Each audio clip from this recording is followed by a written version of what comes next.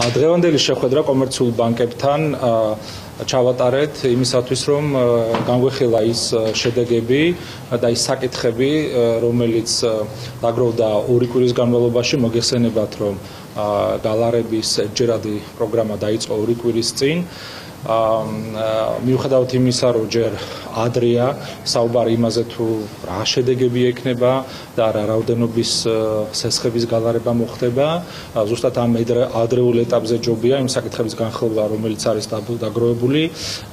იყო გარკვეული საკითხები, რომელიც დაკავშირებული იყო მაგალითად ფილიალებში სესხებლები სესხებლებთან დაკავშირებით, როდესაც თქვა სესხის ისტორიასთან მიუხედავად შედარებით მაღალი საპროცენტო განაკვეთი იქნა შეთავაზებული ამავე დროს ისეთ ისეთი შემთხვევები, როდესაც კლიენტი კვალიფიცირდებოდა იმ სესხებლად, რომ შეიძლება მონაწილეობის მიღება, მაგრამ უარი ეთქვა ბანკში და ეს ასე ვთქვათ, ტექნიკური საკითხები ნამდვილად მოსალოდნელი იყო, რომ ამ ეტაპზე იქნებოდა და ზუსტად აი ამ ეტაპზე იმიტომ გაკეთდა იმიტომ ჩატარდა ეს შეხვედრა. ახლა რაც შეეხება ზოგადად პროგრამასთან დაკავშირებით, მინდა სესხებლებს მოუწოდო, რომ აუცილებლად შეხედონ ამ საკითხს იმ კუთხიდან, რომ ამ პროგრამაში მონაწილეობა მათ საშუალებას მისცემს, რომ მოიშორონ ვალუტის რისკთან სავალუტო რისკები. ანუ იმ შემთხვევაში თუ სესხი არის დოლარში და შემოსავალი არის ლარში, ჯობია რომ აი სავალუტო რისკის რისკზე დამოკიდებულება იქნეს შემცირებული. ბევრი ანალიზი კეთდება ამასთან დაკავშირებით სხვადასხვა ექსპერტების მიერ, სხვადასხვა გადაცემებში. სამწუხაროდ მაინც ძირითადი აქცენტი კეთდება რაოდენობრივად იმაზე თუ თქვა რა თანხის გადახდა იქნება აუცილებელი ერთ შემთხვევაში და მეორე შემთხვევაში, მაგრამ რატოღაც ის საკითხი, თავარი საკითხი, რომ ეს არის შესაძლებლობა, რომ შემცირდეს სავალუტო რისკი, რატოღაც იკარგება, ამიტომ ალბათ თქვენთვისაც კარგი იქნება, რომ აი ამ ამ ამ საკითხს წამოწევთ.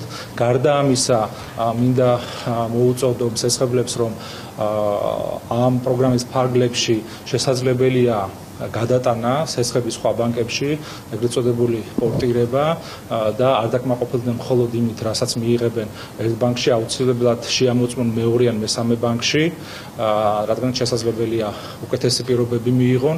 გარდა ამისა, დღეს ეროვნული ბანკის ვებგვერდზე დაიდება კალკულატორი, რომელიც საშუალებას მისცემს სესხებლებს, რომ შეადაროს სხვადასხვა ვარიანტში რომ გააკეთოს სიმულაცია თუ რა გადახდები იქნება სხვა შემთხვევაში და იგივე კალკულატორი გარკვეულწილად ეცდება რომ სავალუტო რისკის გათვალისწინებაც მოხდეს, მაგრამ მიუხედავად ყველაფრისა, უფრო მნიშვნელოვანია რომ სავალუტო რისკის თავისაცილებიდან შეხედოთ ამ საკითხს. და და პლუს თუ კი რამე საკითხი, თუ კი რამე კითხვა ექნებათ, რომელთა გარკვევა არ მოხერხდა კომერციულ ბანკებთან, აუცილებლად დაგვიკავშირდნენ ეროვნულ ბანკში ცხელ ხაზზე მომხმარებელთა უფლებების დაცვის განყოფილება მოგებას ტელეფონის ნომერი არის ვებსაიტზე. ბატონო, შევხვდით პრემიერ-მინისტრ საუბარი იყო ბავშვთა სამყაროში, სავარწმუნო ბავშვთა სამყაროში გაჩენილ ხანძარზე. იქ საუბარი იყო იმაზე, რომ ეროვნული ბანკი დაეხმარება იქ მოვაჭრებს გარკვეული ფინანსური ვალდებულებების გადავადებაში. კონკრეტულად რა დახმარებას გაუწევდა დღევანდელ შეხვედრაზე ბანკებთან თუ გქონდათ საუბარი თქვენ ამ თემაზე და რამდენად მზად იქნებიან ბანკები, რომ მათი ფინანსური ვალდებულების გადავადება მოხდეს?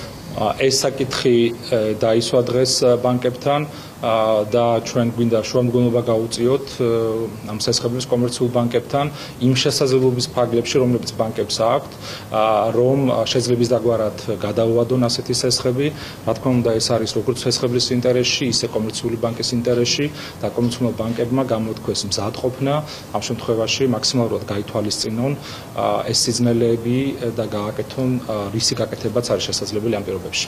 დიდი მადლობა. დაკავშირებით რო გკითხოთ, თქვენთვის ყველა კითხვას გაი გაიცა პასუხი მასთან და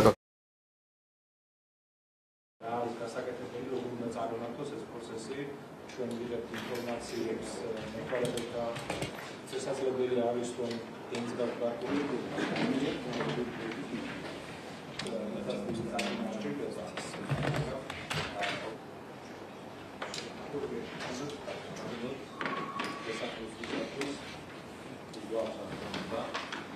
Thank you. რევოლვერი შეხვედრა.